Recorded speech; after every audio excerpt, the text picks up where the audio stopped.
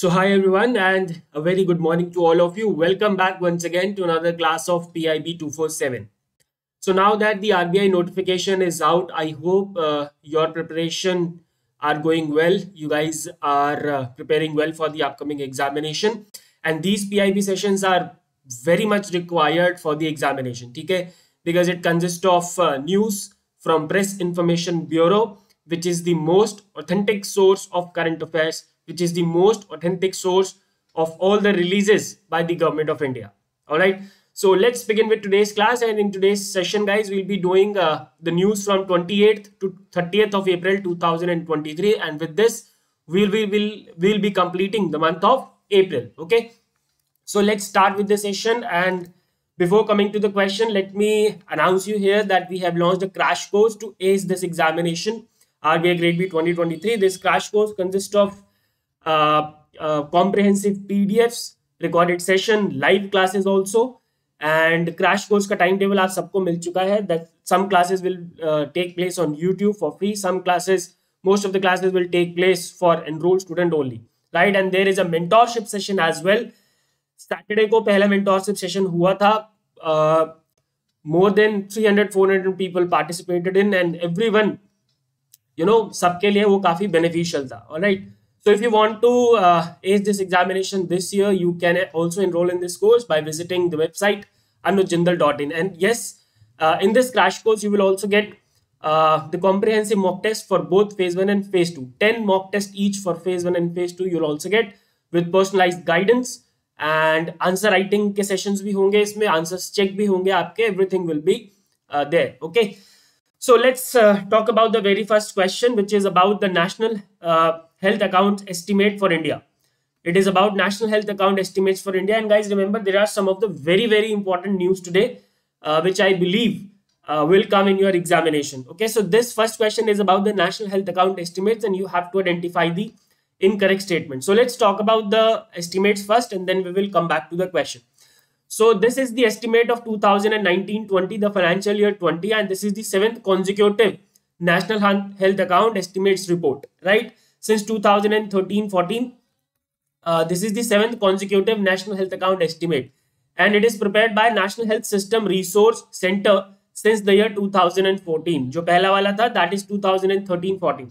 So it is prepared by National Health System Resource Center which is nothing but National Health Account which is designated as National Health Account Technical Center by the uh, Ministry of Health and Family Welfare.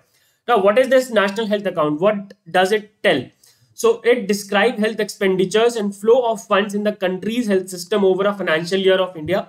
And it is also a tool which describes health expenditure and the flow of funds in both the government sector and the private sector. So these estimates are not only for the government sectors but also for the private sectors. Okay.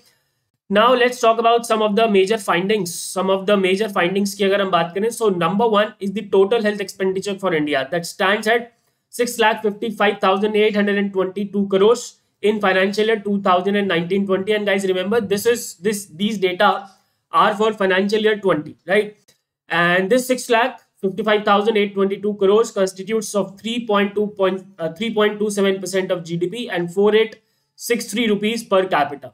Remember this includes both government and private इसमें government और private sector दोनों included है right and this is the most important fact अगर exam में question आएगा तो सबसे ज़्यादा चांसेस इस वाले फैक्ट के हैं। What is the total health expenditure for India for financial two thousand and nineteen twenty and percentage of G D P आ सकता है। एंड या as I told you it constitute current and capital expenditure incurred by government and private sources including external और donor fund what is the current health expenditure for financial year 20 it is 5 lakh 93659 crores which is 90.52 percent of this amount of the total health expenditure while talking about the capital expenditure, so that's 62,163 crores, which is 9.48% of the total health expenditure.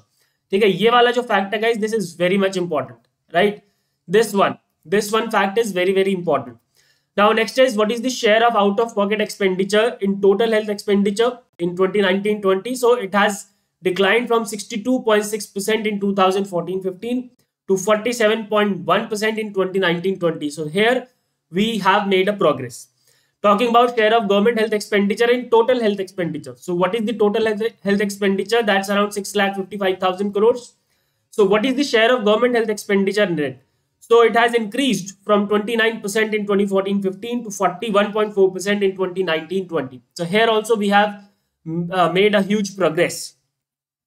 Talking about government health expenditures share in country's total GDP. ठीक है पूरे GDP की बात करें so it is currently currently मतलब financial year 20 it is 1.35% and it was 1.13% in 2014-15 right and what is the per capita government health expenditure so it has also been doubled from 1108 to 2014 between the period of 2014-15 to 2019-20 all right talking about some other facts so government's health expenditure as percentage of central government health expenditure central government expenditure overall expenditure जो central government का है उसमें government का health expenditure का percentage कितना है so it has also steadily increased from 3.94% to 5.02% between the same period what is the share of primary health care in current government health expenditure so it is 55.9% and it has increased from 51.3% to 55.9% and finally what is the share of social security expenditure on health so it has also increased from 5.7% to 9.3% so in every aspect, we have made progress. Uh, and for this, I would like to congratulate you all and the government also. Okay, now let's come back to the question and let's identify the incorrect statement. So it is the eighth consecutive NHA estimates report. No, it is the seventh consecutive. So this first statement is incorrect. Government's health expenditure share in country's total GDP.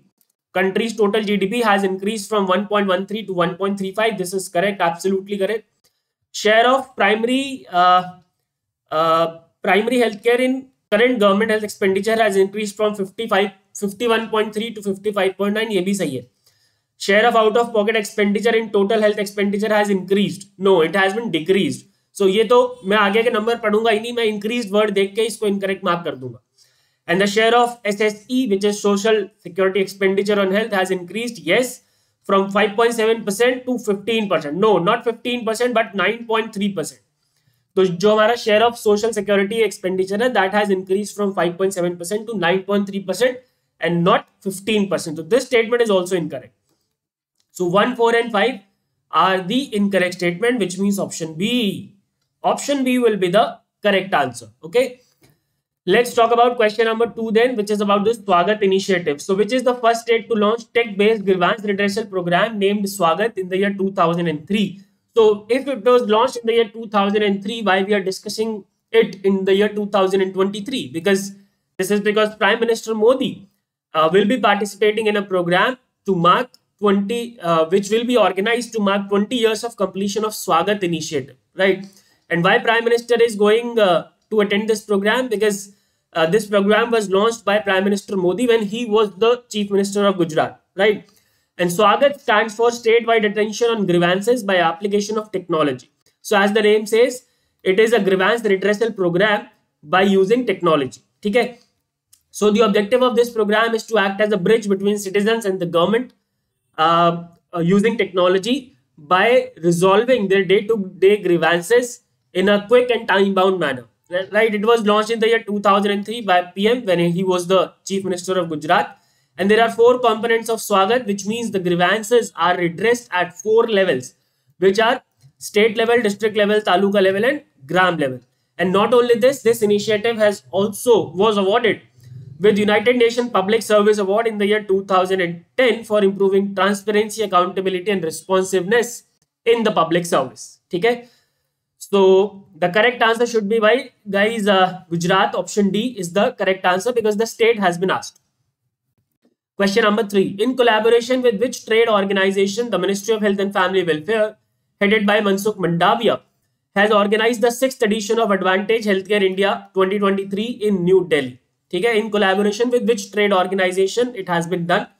So, पहले बात कर लेते हैं Remember, the sixth edition of Advantage Healthcare India 2023 is being held in New Delhi and it was organized in collaboration with FICCI by the Ministry of Health and Family Welfare. Right? Federation of Indian Chamber of Commerce and Industry. And this Advantage Healthcare India has been uh, named as One, Un- One Earth, One Health, Advantage Healthcare India 2023 in consonance with, in, with India's G20 presidency theme of One Earth, One Family, One Future. So this is also very important. You should remember what is the theme of India's G20 presidency, One Earth, One Family and One Future. All right. And the objective of this Advantage Healthcare India is to give emphasis on global collaborations and partnership for building resilient global health architecture. So it is all about building the uh, resilient global health architecture and it will emphasize on the global collaboration. And it will also discuss, the discussions will also be there on how we can work towards achieving universal health coverage through value-based healthcare.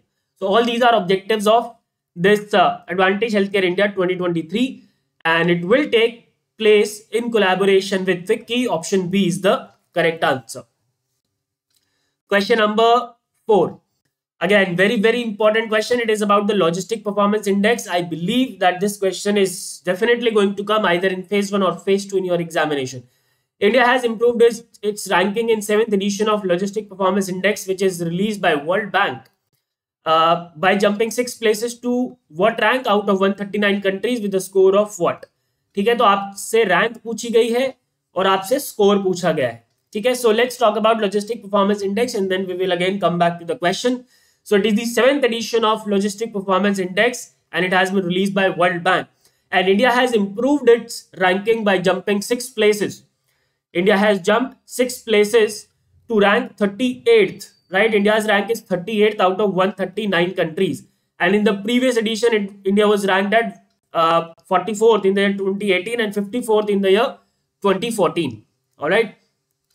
Now talking about the Logistic Performance Index. So as the name suggests, uh, this index actually uh, you know help countries to identify the challenges and opportunities that they face in the performance of their trade logistic and how they can improve their performance right? It is published by world bank. The very first edition was launched in the year was published in the year 2010 and it is published every two years right? And how the scores are calculated? The scores are calculated based on uh, weighted average scores and these these scores are based on six parameters. Six broad parameters are there. The maximum score is 5 and the minimum score is 1 all right now which are these six parameters? These are customs infrastructure international uh, shipments logistic competence and equality timeliness and tracking and tracing. So these are the six indicators based on which the logistic performance index is published is released. Right now talking about the rankings overall अगर आप overall rankings की, की बात करें so the top performer this time is Singapore with a score of 4.3 and it has been ranked at number 1 position the bottom performers are Afghanistan and Libya both having score 1.9 and India has a score of 3.4 with rankings 38th ठीक है? Now India की हम overall performance की बात करें in all the six parameters जो हमने छह पैरामीटर्स देखे हैं So India has improved on four out of six LPI indicators, which are infrastructure, in which India has improved from 52nd in 2018 to 47th in 2023. International shipments, India's rank has improved from 44th in 2018 to 22nd in 2023. Logistic competence and equality, 48th in 2023. Shipping timelines, India's ranking has improved by 17 places to 35th position in the year 2023, right? However, India's performance has gone down in two indicators which are tracing and tracking. And in tracing and tracking, India's rank fell from 38th to 41st. And in customs, India's rank fell from 40th position to 47th position. Okay? So you have to remember all the, uh, you know, about India. India के बारे में आपको सारे indicators के बारे में पता होना चाहिए। In which indicators India improved in which indicators India India performance gone down ठीक है? So let's come back to the question now so what is India rank that thirty eight and what is India score that three point four and that's why the correct answer is option E let's move head to question number five then which of the following statements is incorrect about European free trade association So European Free Trade Association is, you know, a very old association. It was launched in the year 1960. But right now it is in news because ministers and high-level representatives from India and European Free Trade Association states have gathered in New Delhi to discuss these prospects of resuming their negotiation towards a trade and economic partnership agreement between India and European Free Trade Association members or states. ठीक है तो जो India है और European free trade association members हैं, states हैं, उनके बीच में जो ट्रेड और इकोनॉमिक पार्टनरशिप हो सके, उसके लिए डिस्कशन की गई during this meeting, right? Now talking about European free trade association so it is an intergovernmental organisation which promote free and free trade and economic integration between its members and currently there are four members in it Iceland Iceland Liechtenstein Norway and Switzerland And it was launched in the year 1960 through Stockholm Convention and its headquarters are in Geneva, which is in Switzerland. Okay, so this much information is enough about uh, EFTA. I hope this is clear and let's identify the incorrect statement. So it is the Intergovernmental Organization for Promotion of Free Trade and Economic Integration between its members. This is absolutely correct. It has only four members which are Iceland, Liechtenstein, Norway, Norway and Switzerland. So ye bhi sahi hai.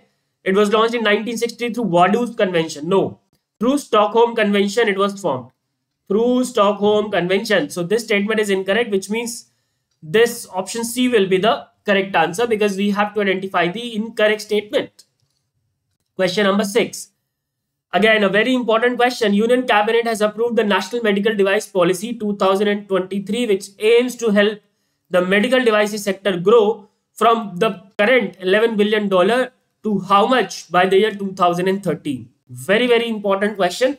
So the Union Cabinet has approved the National Medical Devices Policy 2023 with an objective to place the medical device sector of India on accelerated part of growth. So basically to achieve uh, immense growth in the medical devices sector, this national medical device policy has been approved by the Union Cabinet, right?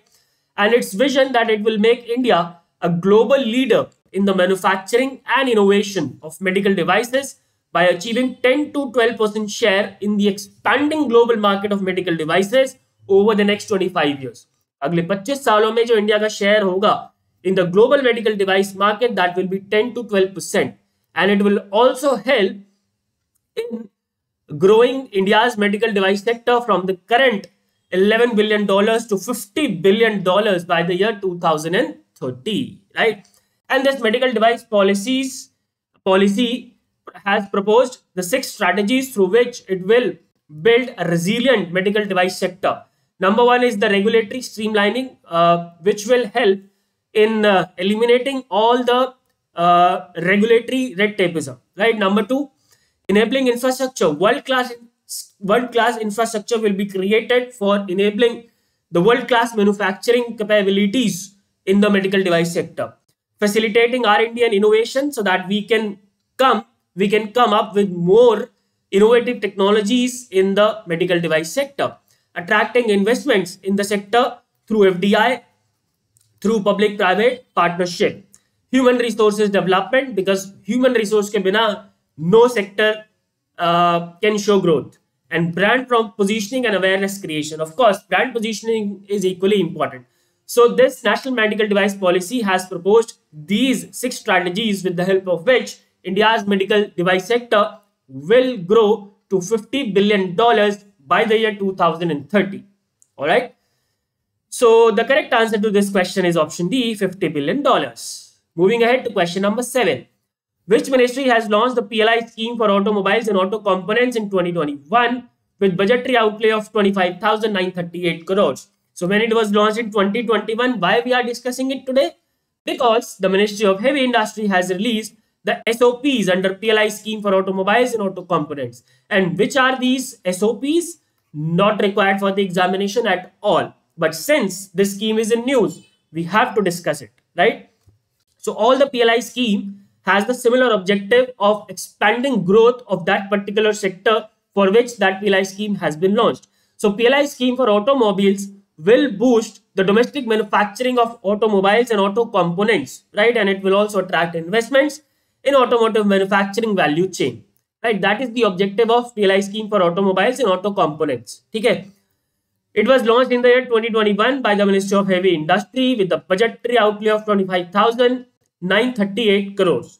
And there are two parts of this scheme. One is Champion OEM. And here OEM stands for Original Equipment Manufacturers. Original Equipment Manufacturers is the full form of OEM. Okay. And this champion OEM will make electric or hydrogen powered vehicle.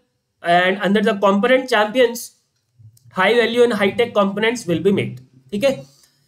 So this is all about PLI scheme for automobiles and which ministry is implementing it. So it is being implemented by Ministry of Heavy Industries. Option C is the correct answer. And guys now let's come to the question in short और कुछ लोगों का ये मानना है कि question in short important है या नहीं? तो भाई साहब, मैं बता दूँ, जितना इंपॉर्टेंट ये कॉम्प्रिहेंसिव न्यूज़ है, उतने ही इंपॉर्टेंट ये क्वेश्चन इन शॉर्ट है right so you have to do these question in short as well right and if you want to have the P D F of this class you can join the Telegram channel the link is provided in the description question number eight Central Statistical Office which is under MOSPI, Ministry of Statistics and Program Implementation, has released a report, Payroll Reporting in India, a formal employment perspective to give different perspectives on the levels of employment in the formal sector.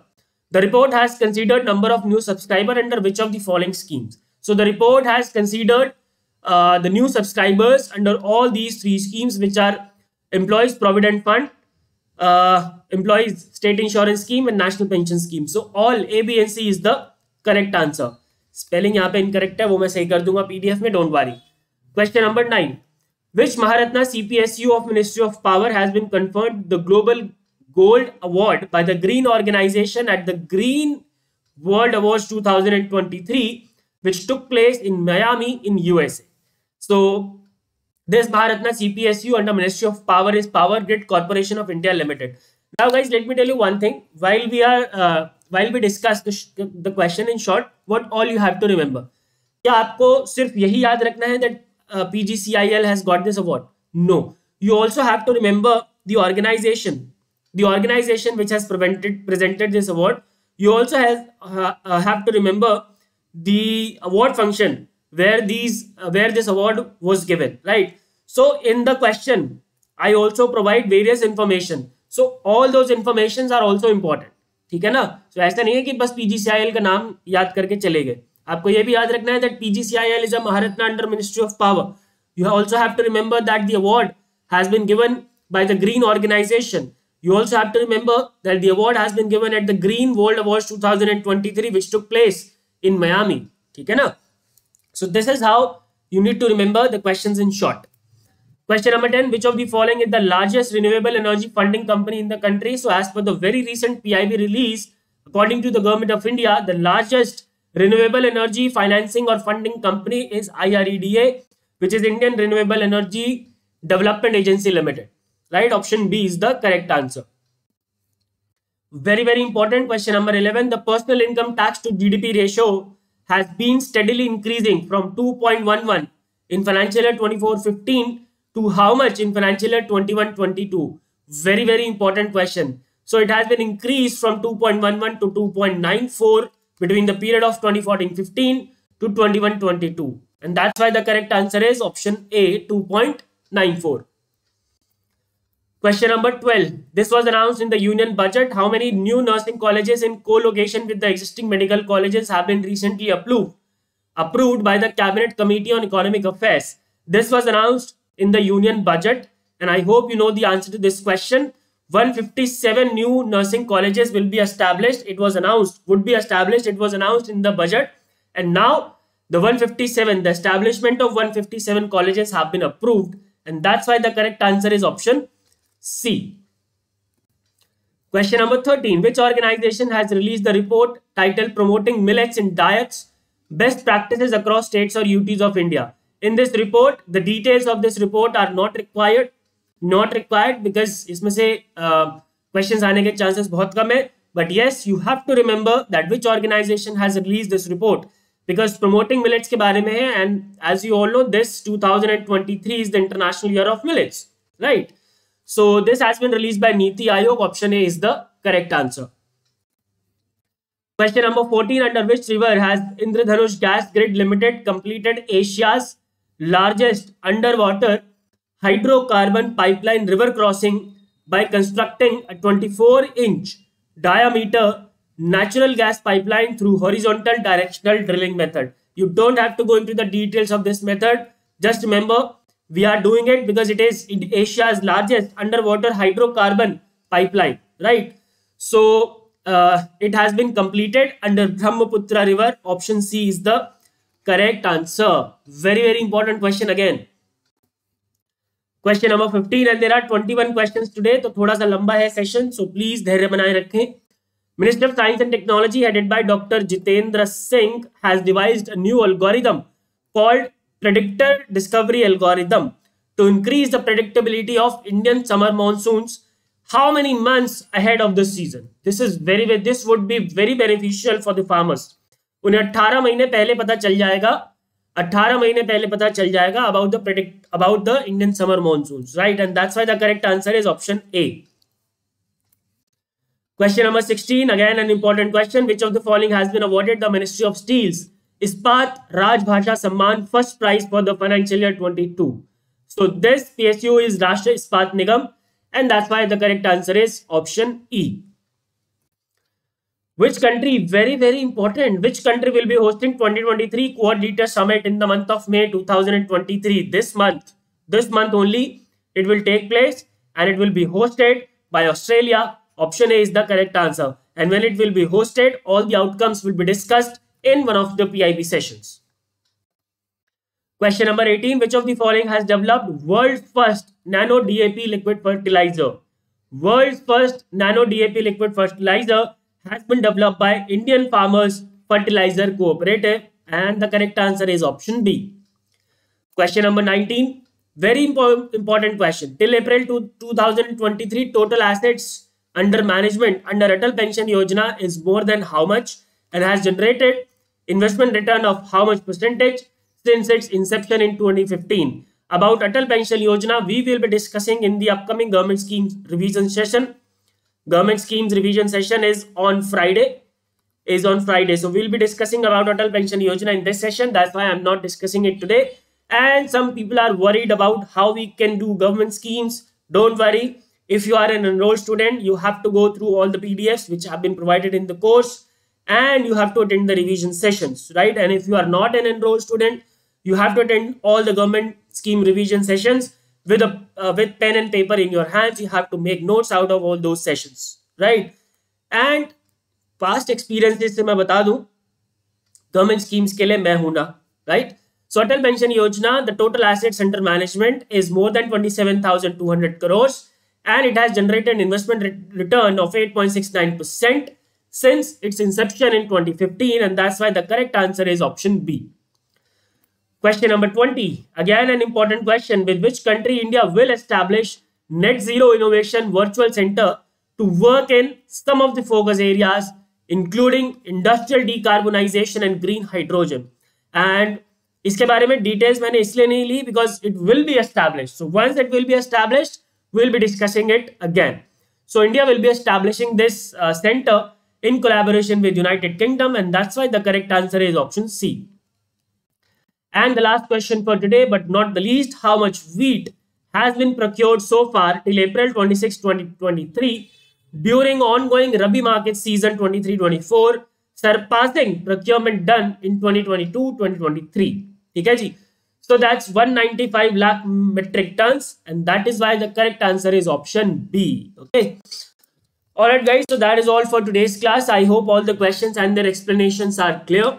If you have any doubts, you can ask me in the comment section and uh, be prepared for the uh, crash course. Be prepared for the revision classes. Uh, all the classes will be conducted with all the Josh that we have in us. And we are also expecting the same level of Josh in you to attend the classes to clear this examination. All right. All the very best guys. Goodbye. Take care and God bless.